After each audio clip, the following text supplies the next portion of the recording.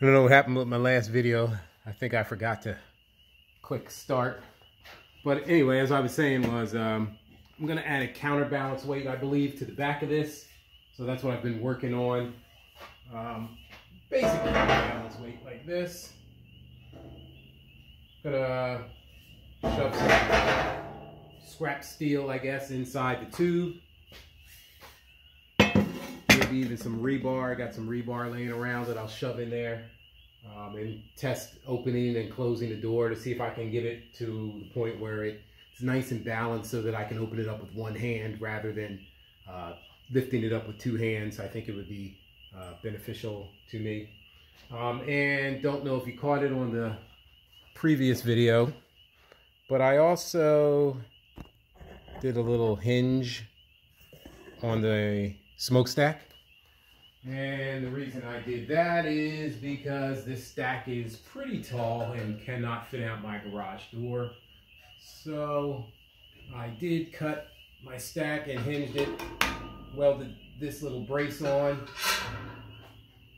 so that now I've got a folding stack and uh, that'll enable me to get this out of the garage um, that way I can put it in and out of the garage as I need to use it. Um, I think my plan is to keep it in the garage as much as possible, um, kind of protect it from the elements.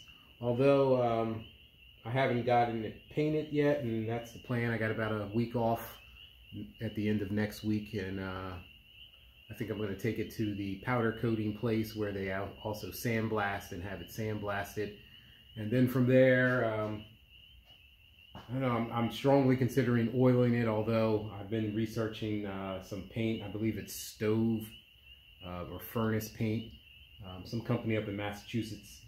And uh, they have some pretty nice products, although it's a little pricey, about $16 a can from what I understand. And um, I think the uh, if I were to do the oiling of it, I think that would be a little bit cheaper. In fact, probably a lot cheaper.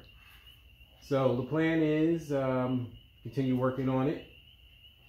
Uh, try to get it done this weekend and uh, very early next week, and then uh, get it off to the to be sandblasted and uh, either painted or or oiled down, and uh,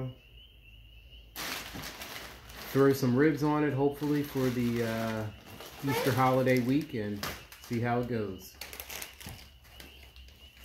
Hold on. Hey guys! Hey! Hey, can we watch it?